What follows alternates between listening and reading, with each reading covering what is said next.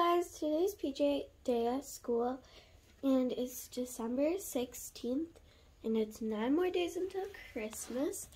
So, we have our little countdown there and Snowflake's about to get run over with my bunny sculpture by Candy Cane and Biscuit. And then these two over here are just floating out of the air.